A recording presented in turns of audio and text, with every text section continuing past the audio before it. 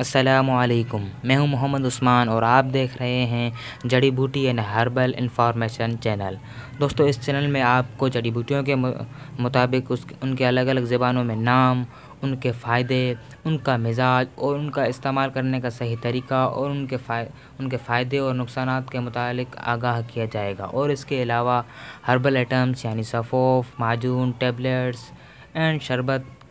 के बारे में बताया जाएगा कि इनमें किन, ये किन किन चीज़ों से बनी हुई हैं और उनके क्या फ़ायदे हैं और उनके क्या नुकसान हैं और ये किस कंपनी के हैं और इसका इस्तेमाल करने का क्या तरीका है, ये सब का सब इन आपको इस चैनल में बताया जाएगा।